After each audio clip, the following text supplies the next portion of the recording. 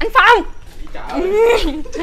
Gì với bà nội cầm dao đi gì vậy xuống đây nó nghe nè. Xuống mà đâm chết rồi gì có đâu ba tào lao thì cầm dao đâu hồi hôm qua em thấy anh mài dao quá trời bén luôn á. Bé không? Mài giùm em ơi rảnh không trời mưa nè. Không không lấy lấy dao chim dưới đít ra. Thôi. Sáng, sáng mới bỏ hết bốn cây á. Sao vậy? Sao bỏ? Xong lục nhảy hết trơn. Thiệt không thiệt ủa sao hôm qua em thấy bén mà? Hư rồi hư luôn rồi rồi Vậy nghe lời tin lời phong phong nó mài mấy cái dao mà gì à, mấy cái dao dạng như dao yếm vậy mà đó À. mới bén mới cạo lông giò được. à. cái này cũng được hả? Không. Còn mấy cái dao này hả? Anh thấy Được. có cách không? đưa con phong lại nè nó mài nè nó mài một phát một ha. Làm đưa nách lên cạo một cái là ra miếng thịt luôn á. Ghê gì nội nói ớn à. mặt với sống là bằng nhau luôn á. Đúng rồi. Gì hả? Đấy. rồi sáng làm bốn cây phát đi nó chắc phát mẫu luôn. Ủa là cuối cùng là anh có mại được không thấy không thấy không Vậy hả? bởi vì em kêu ai mà kêu kêu phong liệu là coi như xong trời ơi rồi biết sao không thấy trời mưa nè thấy ổng ở không nè bởi vì hôm qua Vậy nhờ hả? ổng mại giùm nè dưới đi mài giờ mấy cái này cho cái, cái cho cái lưỡi nó bằng cái sống lên luôn đi thôi dẹp đi cái này còn xài không còn xài không xài mới qua nhờ anh Còn nè Trời ơi. chứ không còn Cái- xài đây, không liệu đây không. không cây kéo mà xài tới cái nước này nè Trời. mà con chịu bỏ nữa. Thời thời đời bà nội em tới giờ đó ông ơi. Lúc bà nội em còn sống phải không? Đúng rồi tới đời của em đó. Vậy hả? Cây kéo để từ thời bà, bà nội còn sống tới giờ luôn. Ra giữ cổ hồi môn cũng kỹ lắm đúng rồi. Sao không trời lục thì lục nhưng mà nhiều khi cắt ớt này kia Ê, được chứ không có cắt được nếu mà kia. thời mà ông có bài sơ vậy đó mà còn mà giữ lại mấy cái cái đồ Rồi bây giờ đem bán lên đó ha giống đồ cổ á. Biết không? Cầu số vậy đốt nhà À, nhà cầu số để đó số. bán nhà đi rồi đánh rồi ra ngoài đường ở à, nói chứ bây giờ em mài em anh chỉ cho em một cái số mà mẹo mài dao mài kéo. Cực kỳ nhanh luôn. Có nghĩa là một cây dao thí dụ mà cây dao mà đây cây dao mà nó bị ờ, không còn bén nữa phải không? Đó bây giờ á, là lưỡi đã lục rồi anh chỉ em mài một cách trong vòng 3 cái giây là xong. Ừ, cây vậy. kéo cũng vậy. Yêu cầu cây kéo lục cỡ nào lục cắt không có đứt hết trơn nha chỉ mài trong vòng 3 giây là xong.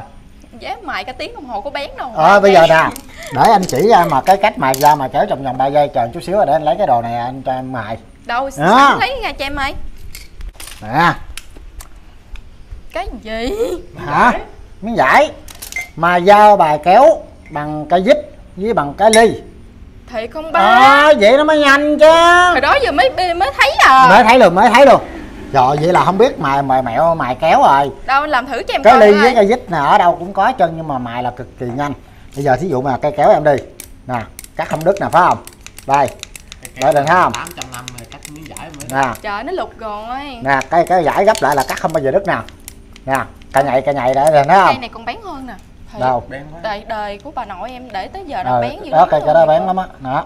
Cắt thấy không? đó, không đứt phải không? rồi không đứt luôn. Nè bây giờ thí dụ mà em muốn mà mài cây kéo này cho nó bén rồi á thứ nhất là em sẽ dùng cây kéo em cắt vô cây vít à cắt à, vô cắt, cắt như nè nhấp rút ra nè cắt ra cái vít chạy ra rút ra rồi vậy nè. Đó. Cắt chừng khoảng chừng à, chục cái thôi. Vậy nè. Là cây kéo em bảo đảm bén ngót luôn. Ờ. À, hoặc là nếu mà có không có cây vít á thì em sẽ cắt vô cái ly. Cái cán ly cũng được nè. Đó, ờ. đó.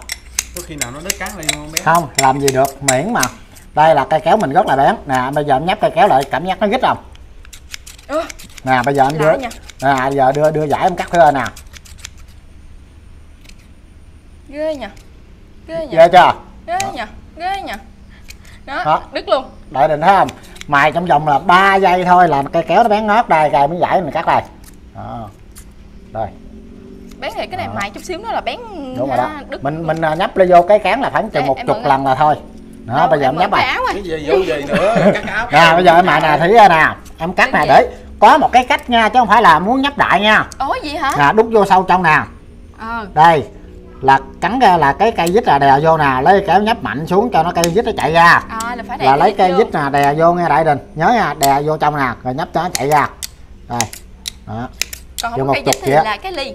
Rồi đúng rồi không có cây vít thì cái ly tặng cho cái bề nè hai chỗ này nè là nó bằng lại nó quýu vô trong là cây kéo mình nhấp chứ nó sẽ rất là bén. Wow. À, đó chính là cái mẹo là mài kéo trong vòng 3 giây là rồi. Đúng rồi nhiều nhiều Đây khi nè. em không biết mài kéo làm sao mình mài mình mình nhấp lại á mà Ờ, cảm giác mà cây kéo nè. mà nó rít à. Nó kích chịch luôn. Ờ, nó rít lại á là cây kéo nó rất là bén. Cây này cũng vậy phải không anh? Nè Đúng là rồi. đè vô nè. Nè bây giờ em cắt giải thử cây này đức không?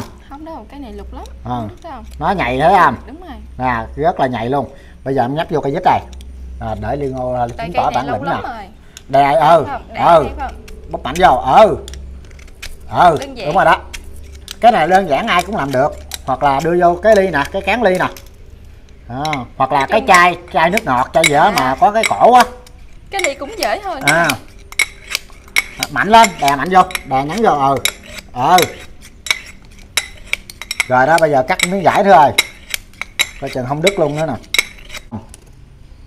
Ờ, đó, nó cũng bén. hơn ha nhưng mà nó cái cái cây kéo này á là cây kéo bằng sắt nên nó không bén bằng mấy cây mà hinox á Vậy bằng hả? hinox á mới mới bén nhưng mà cây này lâu em biết rồi. Đúng rồi nhưng mà nó cũng bén bén nè nó cắt cũng đứt á. Nó Đúng tạm nó tạm thời là đứt á nhưng mà chơi rồi đó. Đây nó cũng đứt á nhưng mà nó không có bén bằng cây những cây kéo hinox nha. Cây kéo này á là phải mài bằng đá mài. Đá mài à, mới được ha. còn mà nếu mà bằng cá bằng gì á là nó bén cỡ này là được rồi. Vậy hả? đó Cái này là độ sai không? đúng rồi. Thấy không? Nó cũng nhám à. Như cây kéo hinox là cắt cái là đứt rồi. Nhưng mà mình xài bây giờ mình mua mình nên mua mấy cái kéo hinox này mình xài thời gian nó nó không bị xét Cái này Còn mấy hồi xưa. xài xét cái chừng Xài xét này nguy hiểm lắm nè, À. nhiều khi mình làm đồ ăn này nọ mình cắt này nọ cắt À. hết vậy đó.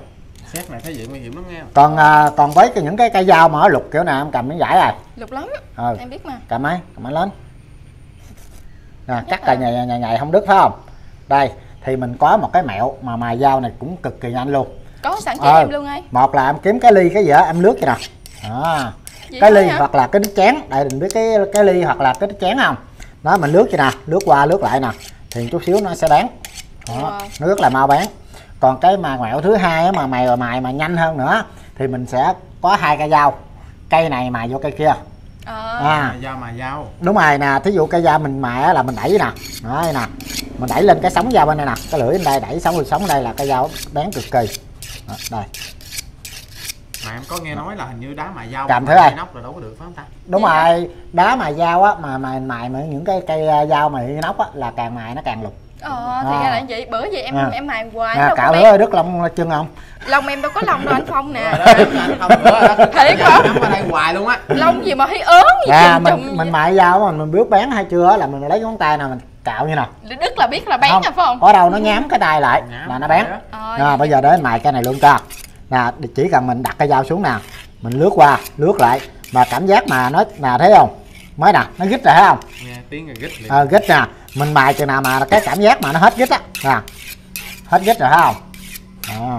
ngọt ha. Thôi là ngọt lại là cái dao sẽ bén cực kỳ. Đó, như dao bây giờ em cầm giải em cắt thử rồi. Cái dao thì cắt giải thì nó đơn giản nè không có gì hết trơn á.